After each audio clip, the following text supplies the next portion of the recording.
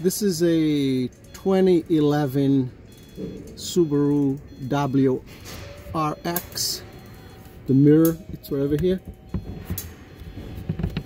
You can just turn it sideways and it'll come right off.